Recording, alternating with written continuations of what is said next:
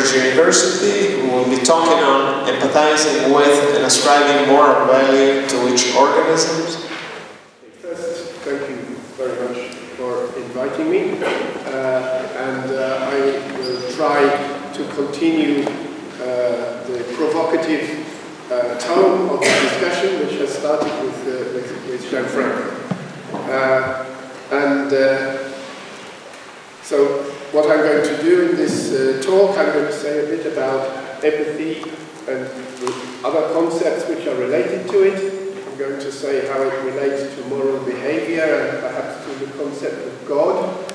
Uh, it gives some examples of empathy in uh, non-humans, uh, say to which animals do humans direct empathy, and talk a bit about moral value, and then go on Okay, so I'll say a bit about sentience, which is relevant to the question of which animals we direct empathy to, and consider which animals are sentient, and here are some which can, could be considered, and then I'll say a little bit about uh, how we associate these ideas with how we actually treat the animals, uh, evaluating welfare and considering which animals we might protect.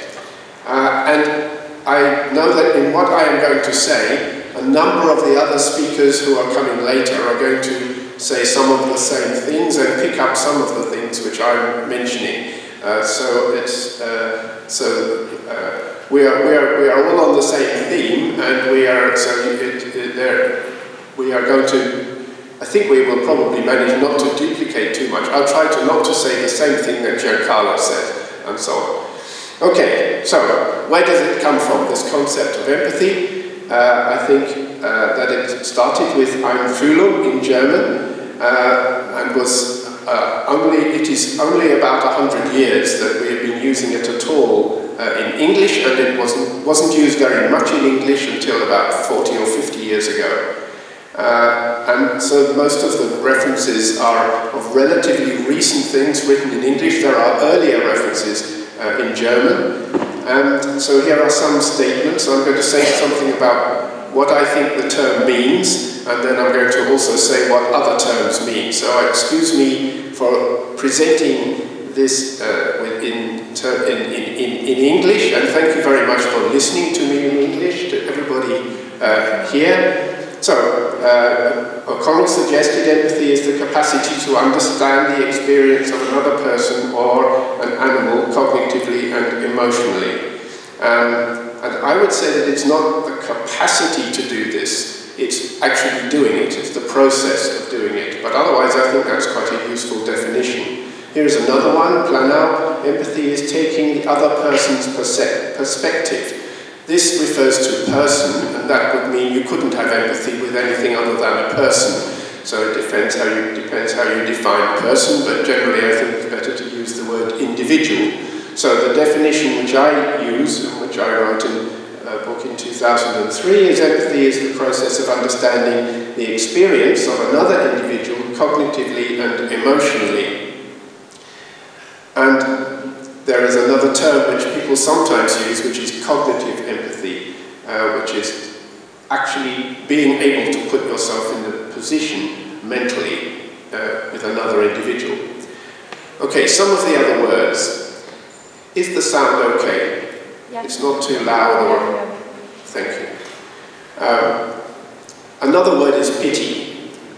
That means to be sorry for another individual. I'm giving dictionary definitions here implying showing, implying what you do about it. Show mercy or tenderness or grief. And then there is another word which is compassion, and that implies very often that you are suffering with another, uh, that you are in sympathy with another and suffering with them. Again, these are dictionary uh, definitions. And sympathy is an affinity that results in the corresponding effect of an influencing factor, or the heightened awareness of the suffering of another individual, which is something which ought to, you ought to do something about it. So these words then uh, imply that you do something about it. If you have sympathy, if you feel compassion, generally speaking, it means you do something about it. empathy, I think you don't necessarily do something about it. You might do, but you need not. So you can, you can feel empathy without doing anything. Uh, you may follow it by doing something. So you may feel empathy and you may then act in a compassionate way towards an individual, but the empathy could be in, in more than one direction. You could have a variety of different kinds of feelings. Empathy is not limited to, to, to feeling pity. Empathy can mean other kinds of feelings about the, other kinds of uh, putting yourself in the place of the other. So it's, uh, it's, it's, a bit wider term. It doesn't necessarily imply that uh, you do something.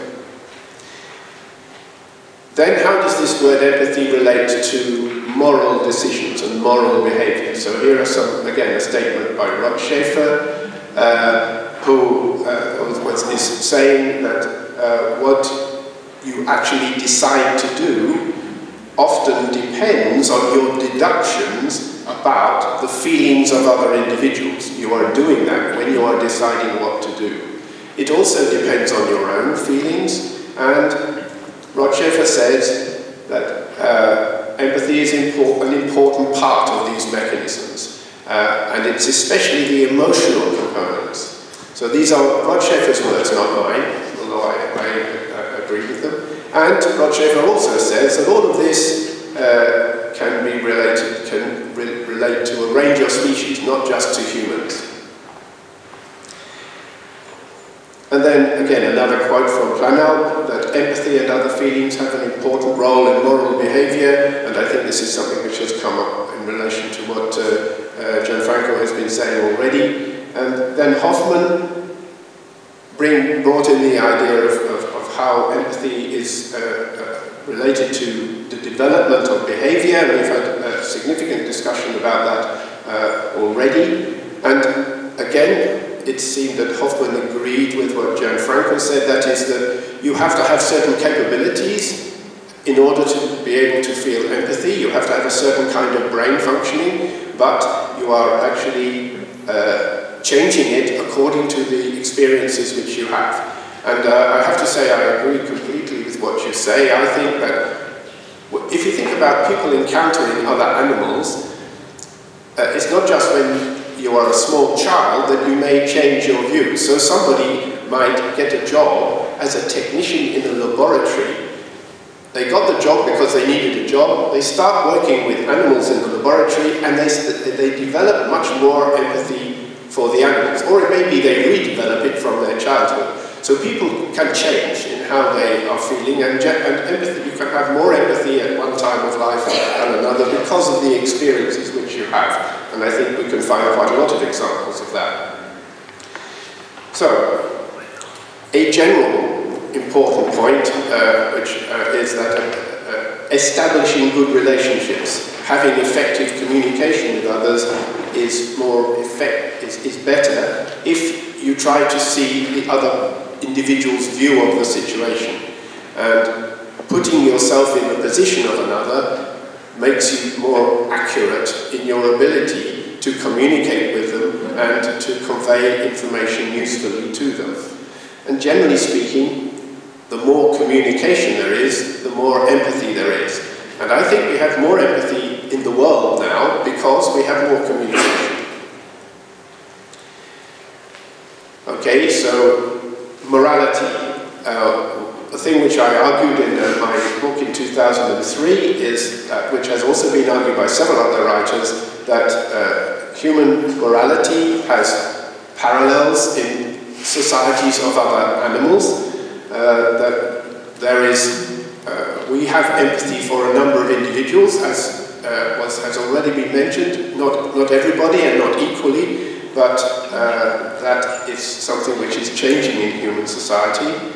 Uh, and these empathic feelings throughout the world, that is, a lot of people having empathy for a lot of other people, can be thought of as a, a, common spirit around the world. Just as when you have a lot of individuals feeling empathy, then there is something uh, which is more than an individual in a sense. So you can think of it as a common spirit.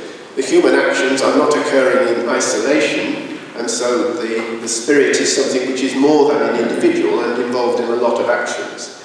Um, And this idea of a, of a common spirit is something which is of great importance in human societies uh, and probably, uh, possibly in other sentient beings. And this, I think, can be thought of as the, an, an essential part of the concept of God. And so I'm interested in your thoughts on this. So the idea of God as a spirit linking sentient beings, I think, fits with the idea that group empathy underlies moral codes. And the so, so there is a, a, a link to, the, to what religion is all about. Empathy is to do with moral functioning, and moral functioning is something which underlies all religions. And I'm talking about not just one, but all, all, all the major religions.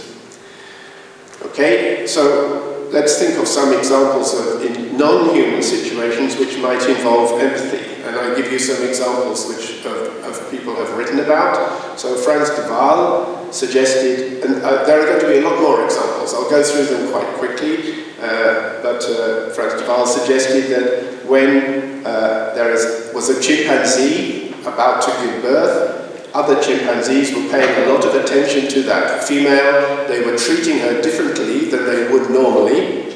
And so something they were observing was changing their behavior towards her. And on one occasion there was defense of that female by one of her close associates, one of her friends, uh, short, shortly after she had given birth. And it seems that, to me, quite straightforward to say this involved some degree of empathy in these chimpanzees. They are, they are observing something and to some degree it seems quite logical to me that they are putting themselves in the position of the other individual. Another example from, uh, from De Waal and, uh, De Waal and Aureli, uh, they described distress in groups of chimpanzees and the distress spread in the groups, and again that might be associated with empathy in those individuals. Another different kind of example is you have individuals which have a relationship where one does something which is helpful to the other and in turn receives a benefit. So the, the, the cleaner fish, which live on reefs, they live on coral reefs, other reefs in the sea, these small fish feed on parasites and uh, superfluous material on the surface of larger fish.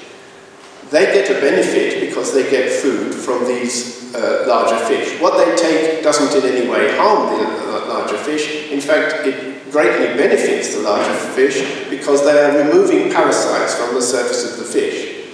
So they, they come together and they are, have this mutually beneficial relationship.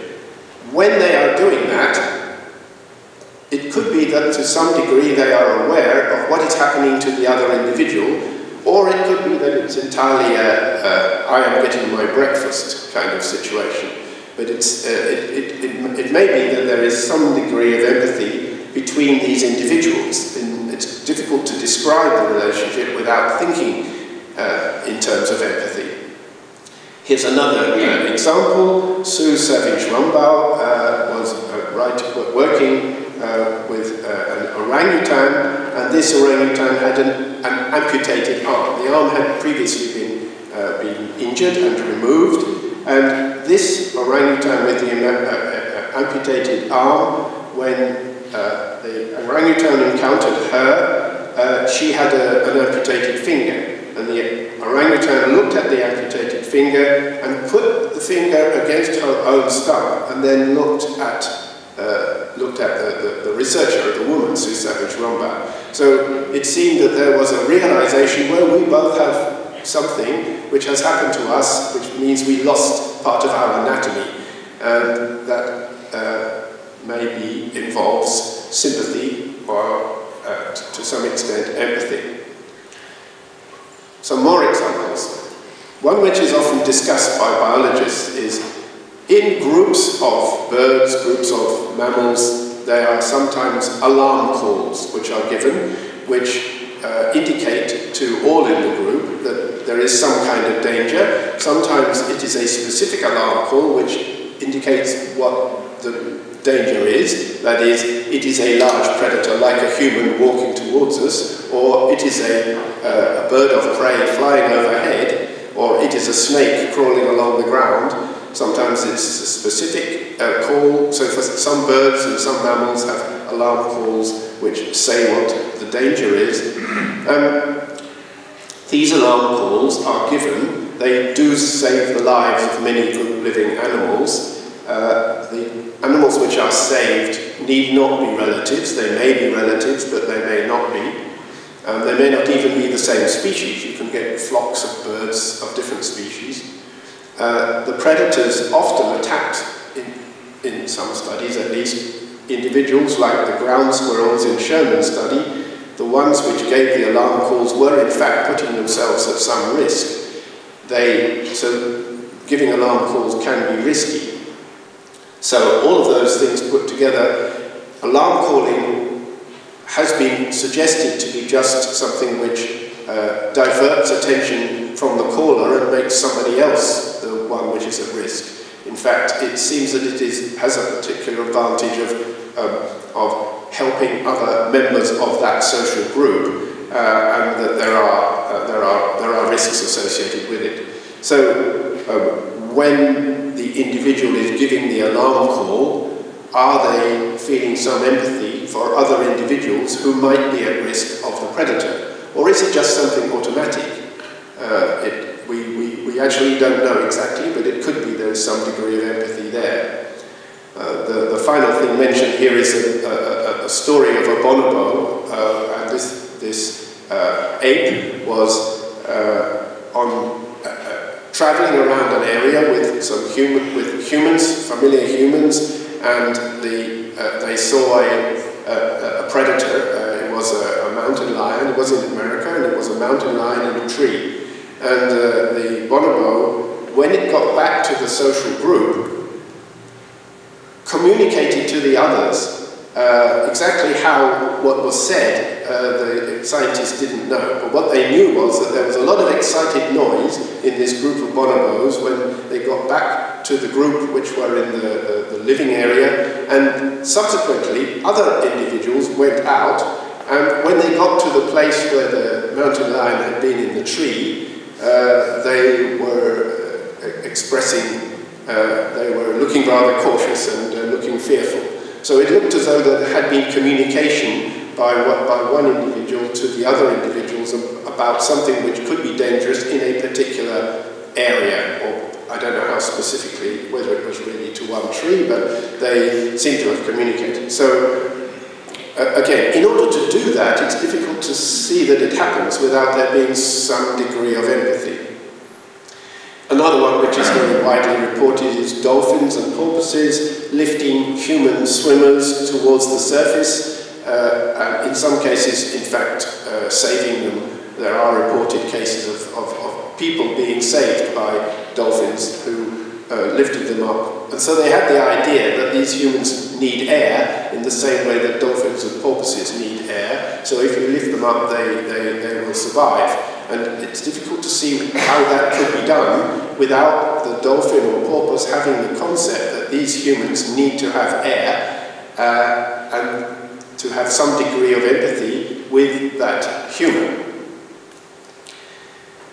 And then we can come to some things which we're going to hear some nice examples of later on today. Do predictions by pets or working animals of the likely actions of humans uh, involve empathy with humans. So when the dogs and horses, which we'll hear about later, are uh, acting in the way they do, are they indicating that they have an appreciation of what it is like to be the human? Let's go the other direction. To which animals do we direct empathy? And as you will know, there is variation in how much people try to put themselves in the place of, of, of other animals. For some people, they don't do it for any non-human. For other people, but actually I think most people do. Just as soon as they have any experience of interacting with animals, uh, as, as a pet or as a working animal or as an animal on a, on a, on a farm, uh, there is much more likelihood that they will. So, which animals do we, do, do, do we feel empathy to? which animals. So James Serpell in his book in 1986 said, the animals which give us the most benefit evoke the greatest empathy, especially farm animals and companion animals. Uh, another suggestion was by, by Stan Curtis and uh, his co-worker Gunter, uh, suggested that empathy for other animals is greater in communities where humans rely more on animals for food. That view was, has been questioned by some people. For example, Clive Phillips, in a paper on empathy, pointed out that there isn't actually very good evidence for that. Uh, what Serpell says seemed to be right, but what Curtis and Gunther said uh, doesn't quite fit with the idea of the Buddhist concern not to harm any kind of animals. Uh, and then the, the people in the world who are most reliant on animals for food are Inuit people, Eskimo people. Uh, most of their diet is animals. They have, eat very little which is not animals. Uh, but are they the people who are most caring about animals? Uh, probably, probably not. I mean, some of them are caring, but uh, probably generally they're not. And uh, Clive Phillips in his paper suggests some other things about empathy. He says he thinks women have more empathy than men, that humans have more empathy for animals which are cared for in or close to their homes. He says he thinks there's greater empathy for younger animals which need more care, and that the caring attitude is a consequence of caring behaviour rather than the other way around. But when I read that, I am not sure that he is talking about empathy. I think he's partly talking about compassion, uh, which, uh, and empathy can be associated with compassion, but it's not always. So I think Clive Phillips there is talking about compassion rather than empathy, but some of what he says uh, uh seems, still seems logical to me.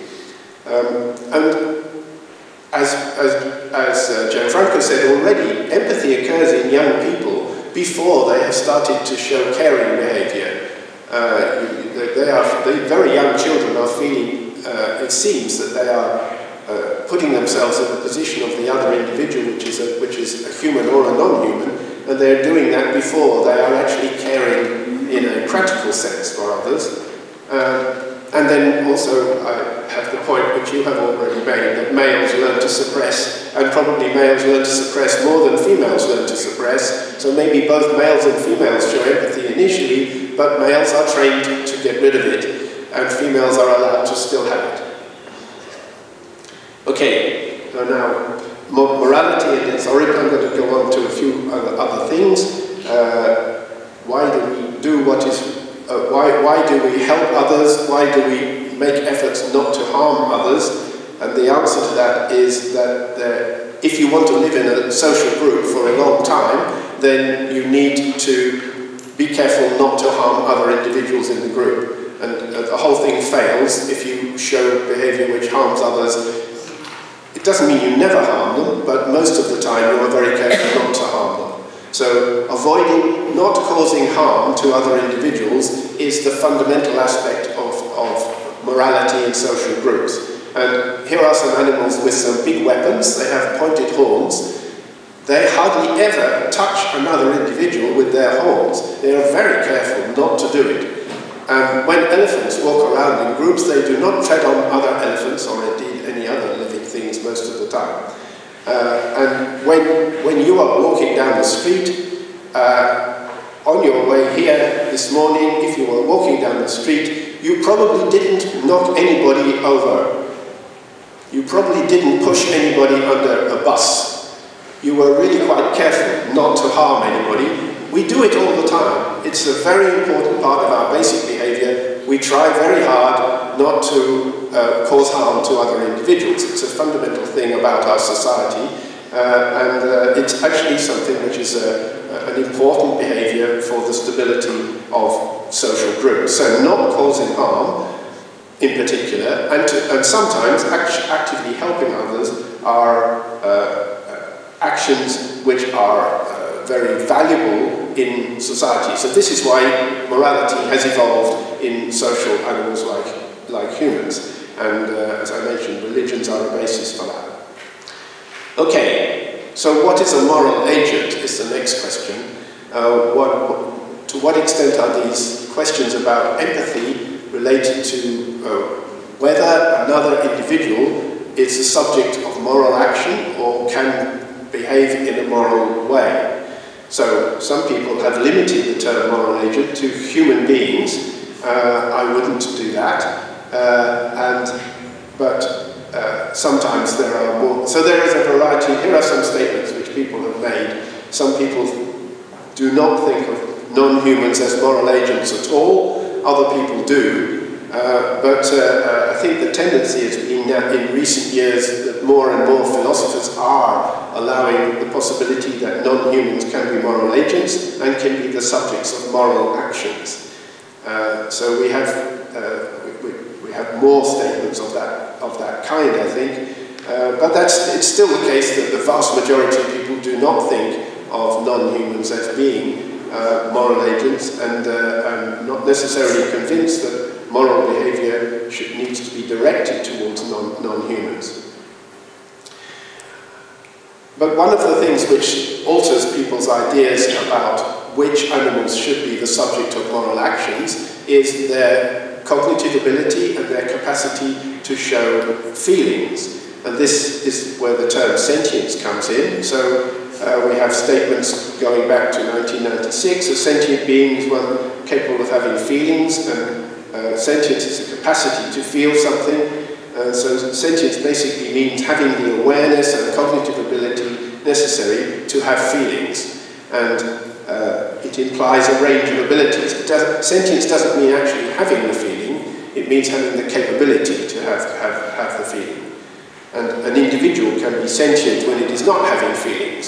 So you, you, you don't have to be having a, to be having a feeling in order to be considered sentient. You can be sentient at other times as well. We are all, we are all sentient.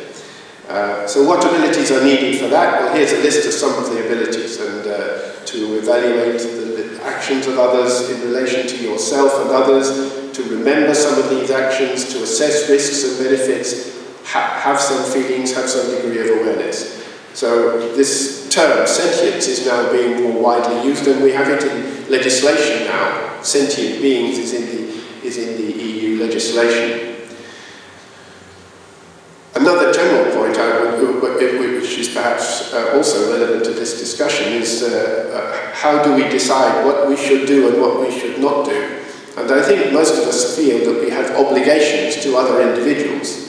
And I personally find that the best way to think of things. It's better to talk in terms of your own obligations than to talk in terms of rights or freedoms, because asserting rights and freedoms can cause problems. So most of us would say we have some obligations not to harm others, and others would include non-humans as well as humans. But then there's the question of in what circumstances are you, is it acceptable to harm others?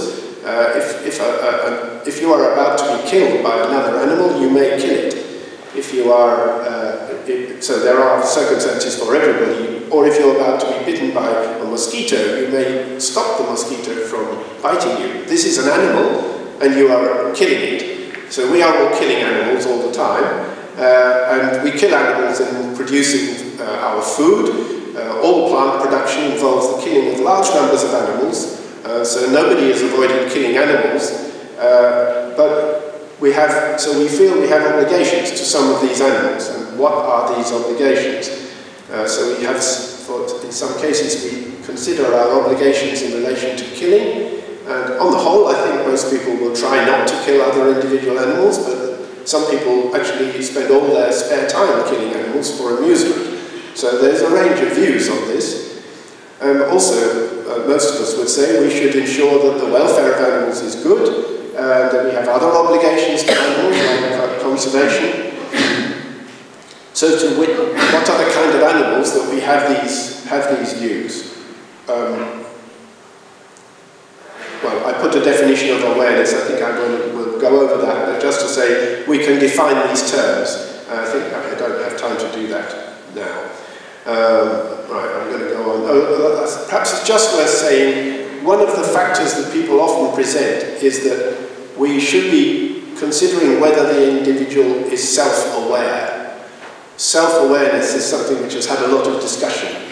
I think we're going to hear some more about it from other people later, so I will just leave it at that point here. Uh, I think it's been overstated in terms of its, uh, in, in, in, terms of its uh, relevance. But it, it'll, it'll come up again in some of our further examples. So, which animals are sentient? And also, which people are sentient? So, is a newborn baby sentient? Well, I just listed the qualities of being which is sentient. There is no question that a newborn baby is not sentient. The, the, the, as far as I'm concerned, a newborn baby is not sentient. It doesn't have those abilities. It has the potential to have those abilities, but it doesn't have them at the moment. Uh, also, there are people who have their brains damaged, uh, maybe because of, of Alzheimer's or, or because of an accident, and they, they don't have this capability, they are not sentient. So there are quite a few humans who are not sentient because they are, haven't developed enough or because they have lost the ability. So it's not the case that all humans are, are, are sentient, uh, and it's not the case that all of animals which are sentient, they are not born sentient, they have the potential to be sentient and they develop the capabilities which we count as being sentient. Uh, but probably, if you are attending this talk, you are sentient. So, don't worry. Okay, How, which animals are sentient? How clever are various kinds of animals is something which is a really interesting topic, and again, we're going to get some nice examples. I'll just give you a few examples of this, and uh, uh, you can read about it in books on cognition. You can read, uh, you're going to hear from Ludwig later, but there are uh, there are a lot of things written about this. So here are a few examples. So this is a study done by Keith Kendrick at Babraham Institute in Cambridge in the UK, and he is recording from cells in the brain of sheep, and when he recorded from these cells, in what you see on the, on the right-hand side uh, is the firing of the cells, and next to it you see pictures which were shown to the animal. So the top four are pictures, this is a particular cell in the brain, and it's firing when the sheep, when the sheep is seeing a picture of another sheep with horns. Uh, and it, not, it didn't fire when it's shown other kinds of pictures. So it is a unit in the brain which responds to seeing another sheep with horns. Then another, uh, another study, which in, a, in another part of the same study, he showed a sheep, a pattern, or a goat, or a sheep with horns, or a sheep with horns, or another sheep with horns. And it fired only to one sheep.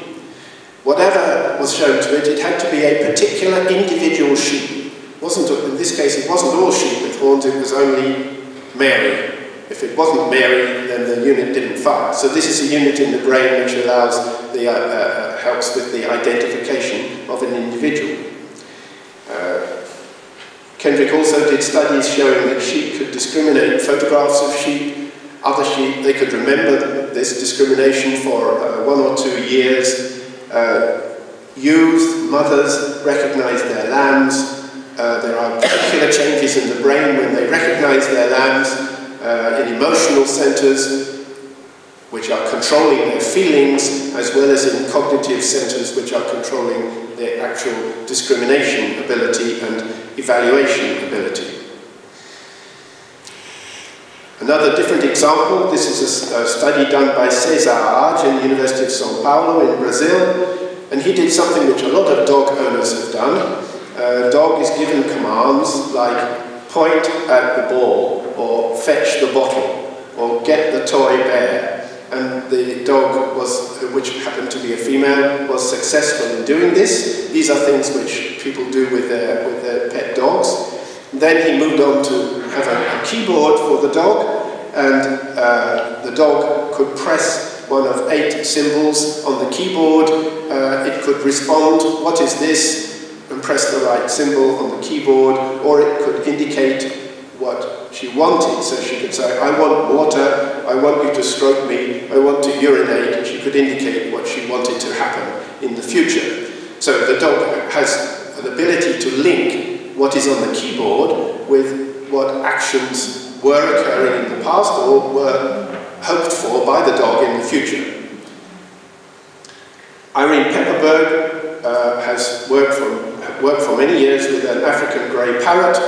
Parrots are very useful animals for humans to work with because they can use our words. And that's one of the reasons why we think parrots are extraordinarily clever, uh, because we can train them. And it's harder to train other kinds of animals, and you'll hear some examples of efforts to do this uh, later. But uh, so this African grey parrot could use words for 50 different objects. So you show the parrot the object and the parrot says the word, or the parrot says the word and you give it the object. You could do it in either direction. Seven different colours, five different shapes, number, quantities from one to six. The parrot can use words for all of these things. So it can say, there are three blue balls. Uh, when you give it three blue balls. So parrot, it was possible to do all those things. Here's uh, another, and I, have left out examples of the people who are going to speak later here. So these are mostly other people's work. So Adam Miklósi in, in Budapest, uh, he demonstrated quite a time ago now that a dog could learn to make a detour around a fence to get uh, a reward. Uh, whereas, and, and, this has also been done for other species, for example, chickens. At one time people said chickens couldn't do this, but actually if you train them, it's not very difficult to train them to do it. Uh, they can do it. Here's another example. Mike Mendl, uh, working in, in Bristol, uh, pig was allowed to find hidden food. The following day, the pig remembered where the food was. So, this kind of uh, evidence shows that the animals have a concept of an object when the object is not there. They have a concept of a symbol or an action which can be linked to a particular object. They have a concept of a, an action of pressing a key, walking around the fence, uh, finding particular cues. Uh, whole set of concepts. You can say what concepts the animal must have in order to be able to do these things. And we're now getting quite a large uh, repertoire of evidence of what kind of concepts animals have. And I think it's what concepts they have which is really important. Fine, thank you. So when a, one of the tests which has been done is to see whether the animal can uh, uh, work out what it sees in a mirror. It's something which is done with young children as well, except that young children are told from a very early age what the mirror is. So it's very difficult to work with children uh, because they already know what the mirror is because somebody told them this. Um, so, uh, do they have a concept of what is in the mirror? And we are, we are now in the situation where uh, having, being able to use information from a mirror has been demonstrated uh, for humans. Uh, and actually, for where children are not told what it is, they are about three years old before they can do it. But if you tell them, they can do it when they're younger. But if they haven't been told, it's about three years old before they can use information from the mirror. Uh, so humans, chimpanzees, capuchin monkeys, dolphins, pigs, an elephant, a parrot, and magpies all been shown to be able to use information from a mirror. And I'm probably out of date, there's probably more to add on to the list. There have also been attempts with a lot of other species which were not successful. That doesn't mean they, in some cases, because it's actually quite a difficult thing to do, to train it. And I'll give you an example of how you can do it, because we did it with, we did it with pigs. And so what we did was we uh, showed pigs which had never seen a mirror before, or never seen anything reflected before. We showed them a mirror, and we gave them a task where they could see in the mirror a familiar coloured food bowl which they could recognise. And this is, was the setup for it. So the, uh, the pig is put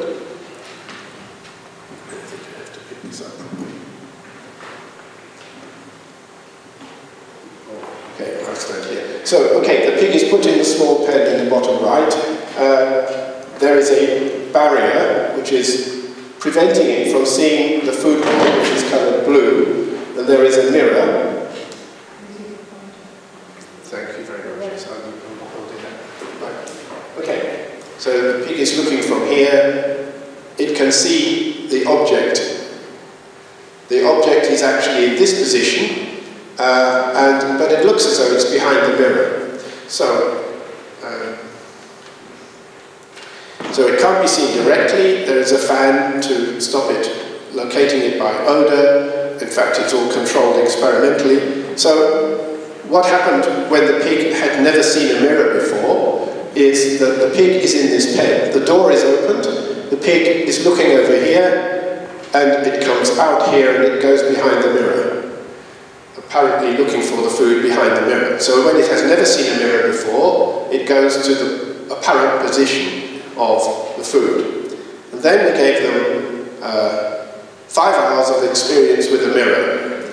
And so there's the pig having the experience with the mirror. And what happened then, after this, was that uh, most of the animals, they could see in the mirror the object, and when the door was opened, they went away from the mirror, around the barrier, to the object. So they had learnt that what you see in the mirror is uh, gives you some useful information and it tells you where things are. So in fact, the pig has observed features of its surroundings, it's remembered these, it's remembered its own actions when it was in front of the mirror, and deduced from that that what you see in the mirror is on this side of the mirror and at a certain position in relation to where you are, and then later use that information uh, to, to, to get to the food. So, and I had a BBC television group who said, oh, we want to replicate this in our studio. I said it's going to be very difficult to do that. But actually, they spent two weeks doing it, and they did succeed in replicating it. Uh, there is a Dutch group who has tried to replicate it, and they so far haven't quite done so. Okay, let's go on to some other examples. Here's, here's another example of Put This back in here. This is work done by Nicky Clayton and Tony Dickinson and Nathan Emery and their team in working in Cambridge. So, jays, these birds, uh, hide food. The wild birds hide food and then they find it again later. The same as uh, squirrels will also do this. they put the birds in the situation where they could hide food. There are a lot of results from this work, but I'll just give you one example. If they had hidden a peanut, they would, they might leave it for quite a long time before they went to find it again. Maybe even a week or two before they went and found it again. However, another item of food was a mealworm, the larva of an insect, live, which is alive. They would hide that also, but they would always go back and find it within two days. Because if you hide a mealworm, it's going to go bad and be inedible. So they distinguish between something which would go bad and something which would not go bad. And that means they have the concept that in the future this, um, this bit of food is not going to be edible. Therefore I will uh, go back and find it uh, earlier. And another thing they did was if, if they were hiding food, and while they were hiding the food, another jay was watching them, they would often delay, uh, they would either delay the hiding or they would hide the food, and then they would go back again shortly afterwards and move it somewhere else. Because if another jay was watching, it might well steal the food which had been hidden. So they have the concept that the other, the other individual might hide the food, might uh, get the food which had been hidden. Okay, one more of these examples. This is the work of Olga Smirnova, working in Moscow. And actually, I haven't seen this published yet, but uh, uh, uh, I don't know whether it is. Ludwig, is it published? Do you know? It is published now. Five minutes more. I'll finish in five minutes. So, crows were trained. Here are, here are a number of spots. Look at this, and then go over there, and you will see several possibilities, things with spots on, and you have to choose the same number of spots. So there are three spots here. They could choose. They would find that something with three spots mixed up with lots of others. They learn that very readily, then, and then they get a food reward. Then they're trained that they would get, that, that it, had the number, the actual number on, uh, so a number two or a number five, the numbers are up to eight, and they could learn this, so they could associate the number, of course our number is nothing to do with uh, a, a, number of spots really, but they were able to learn that. So that you could put a number 5 and they would go to 5 dots, or you could put 5 dots and they would go to the number 5. Uh, and then another thing which was done was to give them 2 dots and 4 dots, and the answer was 6, and they would go to 6. Or a number 2 and a number 4 and they had to go to the number six, and they were able to learn that as well. So these birds are, they have, they have a concept of number up to eight, and they can use our symbols for, for the number, and they can add numbers together.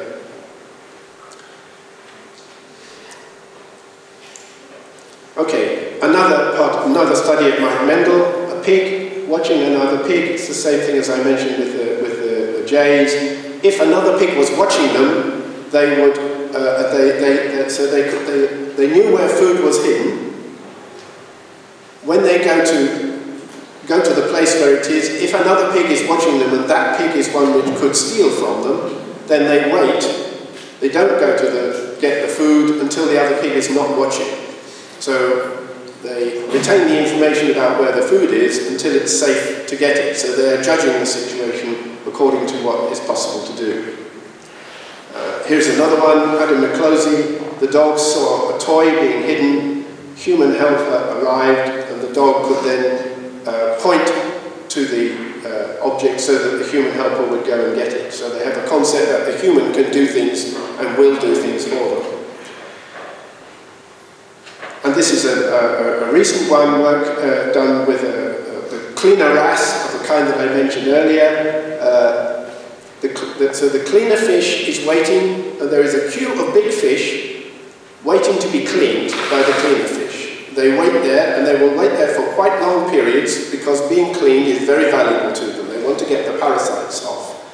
Um, what was found was that, if, that, that the cleaner fish would, would, if there was a queue of regular clients waiting, and another individual came who had not been there before, the cleaner fish would distinguish that one and would clean it first because if it didn't clean it first, it might go away quite quickly.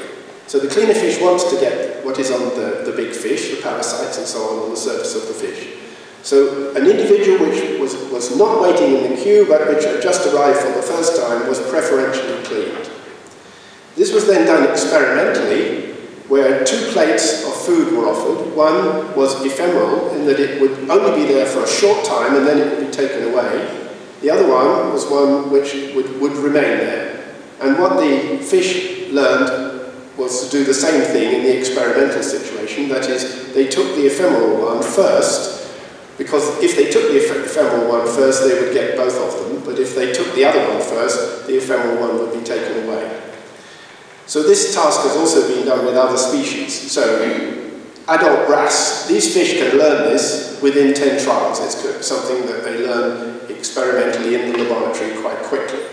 The same task was done for juvenile wrasse, and they were not as good at this as the adults. They were, it was done with capuchin monkeys, chimpanzees, and orangutans. And the capuchin, the, the, the primates were less good at the task than the fish. They, they didn't learn the task as, as well as the fish. And when they reversed the task, so they had to, uh, they did a reversal learning, they had to go for the other cue, um, the um, fish learned the reversal very well, and they, some of the primates did and some of them didn't. It's also been done with parrots, and the parrots learned to do this very effectively, and they also learned the reversal very effectively. So after this, using this particular kind of study, the, uh, the, the, the parrots are the best at this task. And then the fish, and then some of the primates, and then some of the other primates are not as good. So it's, it's an example of a task where a bird and a fish come out as better than the primates. There are several others like this, especially with birds. This is a study we did with uh, young cattle. The young cattle had to, uh, they are put in this pen, and in, in the pen, uh, the gate can be opened if they put their nose in the hole in the side of the pen, and they can then go down there to get food. here is another animal which has the same, exactly the same experience, but its own actions don't control the opening of the gate. Uh, the, the young cattle learn this uh, quite quickly, and when they had learnt it, they showed an excited response. So they showed they jumped in the air, they changed their behaviour, and they showed increased heart rate when they solved the problem. If they got the reward without having solved the problem, they didn't show this excitement response. So it seemed there was an excitement, the excitement response was associated with having solved the task. Right, I think I'm going on with time. I'll just tell you this one rather quickly. This is a study done by Carla Torres Pereira. The dog has an item of food put on a table or a toy put on a table by the owner and the owner says, don't touch that. The owner then goes out of the room. And when the owner went out of the room, uh, the went out for 30 seconds. Some dogs would take it and some dogs would not take it. When you compare the two, when the owner came back, the owner stood completely impassively and uh, there was a difference in the behavior of dogs which had obeyed and dogs which had not obeyed. Uh, they changed, and also a difference in heart rate between the two. So it seemed that when they had done the thing which they were told not to do, there was different behavior and different physiological response. So maybe this is, uh, the dog is feeling guilt, is what we would say if it was a human. Okay, I'm going on too slowly, so I'll go a little bit quicker and say, when you look at a whole range of different kinds of animals, you find that learning ability is very good in all is, is good in all vertebrates, including especially including fish. It's also good in cephalopods like octopus. Uh, it's quite good in some insects. It's very good in some spiders. Uh, so honeybees can form co cognitive maps. Ants can count while they're foraging.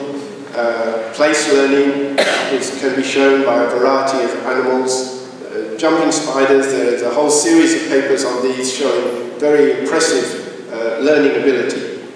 Uh, so, the learning ability is present in a wide variety of animals.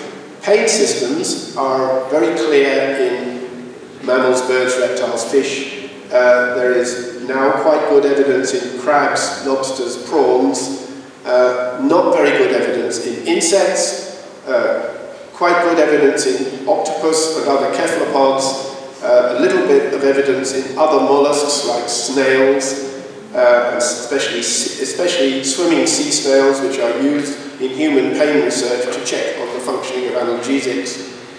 Um, so at the moment, then, we could say that the animals which are sentient are all the vertebrates and uh, cephalopod uh, mollusks and decapod crustacea like, like uh, crabs and prawns, and possibly others. I should stop. Okay, so I think I won't be able to say anything about it. Uh, so what I'll say about welfare is that welfare is now something that we can, sorry to be flicking a lot of slides, welfare is now something we can evaluate very precisely. And so uh, what, uh, which animals do we take account of? Uh, uh, in fact, animals which have a high level of cognitive ability are generally going to be better at dealing with problems than animals with less good cognitive ability. So it might be that, some, pain is worse for less sophisticated animals than for more sophisticated animals. So we ought to be thinking about the we ought actually to be evaluating the welfare directly uh, rather than assuming uh, what will be the consequence for the animal. So we shouldn't just have respect for complex animals, we should also be thinking about the welfare of any animal, and that includes invertebrate animals, not just vertebrate. So, it raises a question of what animals do we value more than others. We could say we value sentient animals. We could say we value large ones, or small ones, or beautiful ones, or rare ones. Which animals do you value? And why do you value those? And is it logical? I think that's the question we need to ask, and we can come back to this question later. How do we decide which ones we value? Uh, and it, we, we ought to, well, I'm going to go on that, over that. So, the conclusions. Empathy, then, is a process of understanding the experience of another individual, cognitively and emotionally. Uh, group empathy may underlie moral codes. Non-humans can be the subject of moral actions and can have moral value. Sentience means having the awareness and cognitive ability necessary to have feelings, and good or poor welfare can be evaluated scientifically. Uh, in order to evaluate, we often have to ask, uh, assess how good and how poor the welfare is very precisely, take account of positive and negative feelings in other kinds of animals. And less cognitive ability might mean more difficulty in coping. And so sentient animals include the ones in that list there, possibly some others, but the word welfare refers to all animals, whether they are sentient or not. And we can think about when during development individuals become sentient, uh, whether they lose it later, later if they have a damage to them, and we ought to use proper scientific methods to evaluate the welfare of all animals in taking decisions about what is acceptable behaviour and what is not acceptable behaviour.